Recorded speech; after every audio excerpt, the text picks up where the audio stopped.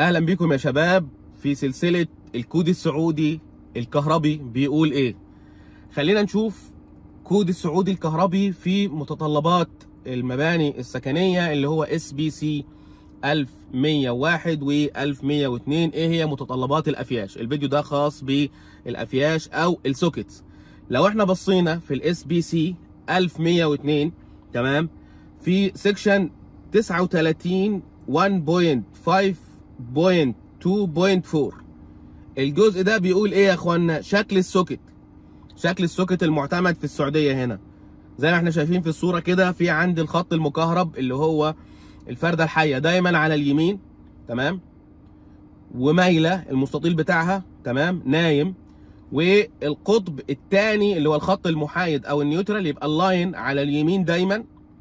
وال ال ال ال neutral على اليسار اللي هو الخط المحايد ودايما فوق ال earth اللي هو التأريض ففي فتحة فتحة الخط المكهرب على اليمين أفقي نايمة وفتحة الخط المحايد اللي هو ال neutral على اليسار. لازم الاثنين دول يكون مزود بغوالق. ده شرط الكود. لازم يكون مزود ب shutter أو بغالق.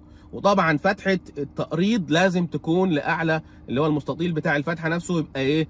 واقف تمام لاعلى ده بناء على تمام الكود السعودي. يبقى دلوقتي إيه الشرط أو إيه النص؟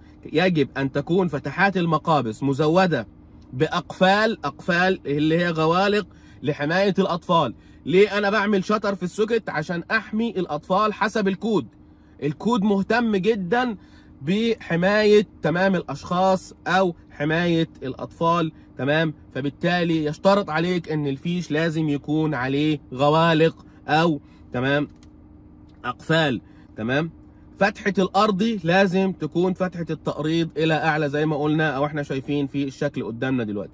طيب ال ال ال المتطلب الثاني في الأفياش المتطلب الثاني يجب أن تكون المقابس من درجة حماية IP 2X. يعني لازم تكون ليها أقل درجة حماية IP يعني ingress protection أو درجة الحماية. 2 ده الرقم الأولاني. تمام في الحماية. الحماية ضد الأجسام الصلبة بنسميها وال X اللي هو الحماية ضد الأجسام السائلة. فهنا 2 للحماية من التلامس المباشر. يبقى لازم لازم في ال socket يكون IP 2X زي ما أنت شايف في الصورة كده. ليه؟ عشان احمي الاشخاص من التلامس المباشر لل socket طيب يا باشمهندس إيه تاني؟ تمام؟ الارتفاعات يا اخوانا مهمة جدا. من احد الحاجات اللي ما كانتش موجودة يمكن في اي كود ارتفاع ال socket في المجلس العربي. ارتفاع ال socket في المجلس العربي حسب الكود السعودي 70 سم يا اخوانا. تمام؟ 70 سم طيب يجب أن تركب جميع المقابس على ارتفاعات من الأرضية المشطبة اللي إحنا بنسميها FFL finish floor level لا تقل عن التالي. يبقى أنت من حيث المجلس العربي ما تقلش عن 70 سم ممكن تزيد عن 70 سم ماشي بس ما تقلش عن 70 سم تمام؟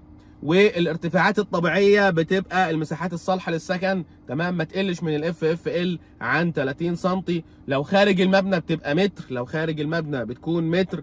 في المطابخ يا اخوانا لا تقل عن 30 سم فوق طاولة المطبخ. فوق طاولة المطبخ حسب ال SBC تمام؟ 1102 والمعلومة دي مهمة جدا. ما ادخلش مطبخ ألاقي ال socket تحت الرخامة. لا لازم فوق الرخامة ب 30 سم. ده كود. تمام؟ خارج المباني يبقى ارتفاع ال socket متر. في المجلس العربي ما تقلش عن 70 سم. المساحات الصالحة للسكن من ال finish floor level تبقى على الأقل 30 سم. تمام؟ وبعدين في التركيب في يعني معلومة خطيرة جدا. يجب عدم تركيب المقابس في المواقع التي تكون عرضة للتلامس المباشر مع الأقمشة. يعني أنا زي ما شايف في الصورة كده ما أروحش أركب socket وفي جنبه حتة قماش أو ستارة لازقة في ال socket تمام؟ الستارة دي اللي في ال socket ممكن يحصل مشاكل وتؤدي إلى تمام مشاكل كبيرة جدا. فالكود بيشترط عدم تركيب المقابس في المواقع التي تكون فيها عرضة للتلامس المباشر. هو خايف يحصل تلامس مباشر بين ال socket وبين الأقمشة اللي موجودة زي ما إحنا شايفين في الصورة. طيب حتة مهمة جدا بنشوفها دايما. تلاقي في المطابخ المهندس مصمم حاطط لي socket فوق البوتاجاز. حاطط socket فوق البوتاجاز. الكود منع كده يا إخوانا. الكود منع كده تماما. يجب عدم تركيب مقابس فوق أجهزة الطهي أي جهاز طهي ممنوع تركب socket فوقيه. زي ما أنت شايف في الصورة كده. هو بيبدأ يركب socket يمكن بعد 60 سم من جهاز الطهي من ال... من الطباخ أو من ال... ال... البوتاجاز بتاعي. تمام؟ طيب إيه تاني؟ إيه تاني؟ الكود بيقول إيه تاني؟ تمام؟ من ناحية تمام؟ الكود بيقول إيه؟ من ناحية حنفية المية. أنا ألاقي الصنبور بتاع المية أو الحنفية في الحوض والاقي واحد حاطط لي socket تمام فوق الصنبور. لازم يشترط عندي يبقى في مسافة لا تقل عن 600 مللي يعني 60 سم من أي صنبور. أي حنفية أبعد عنها 60 سم يا شباب. أي حنفية أبعد عنها 60 سم زي ما إحنا شايفين في الصور. في حتة مهمة جدا الأماكن اللي إحنا بنسميها wet area أو بيسموها الفراغات الرطبة. الفراغات الرطبة.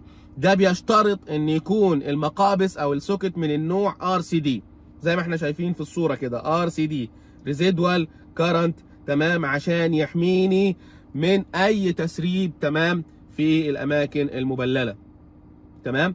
شرط مهم جدا طبعا لازم تكون الأفياش اللي أنا هركبها تكون معتمدة من SASO وتتوافق مع المقاييس تمام الخاصة ب SASO اللي هي الهيئة السعودية للمواصفات والمقاييس والجودة.